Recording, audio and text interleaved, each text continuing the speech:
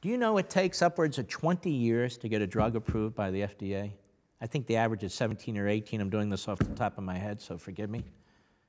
That is ridiculous. Also, there are things in the trial process.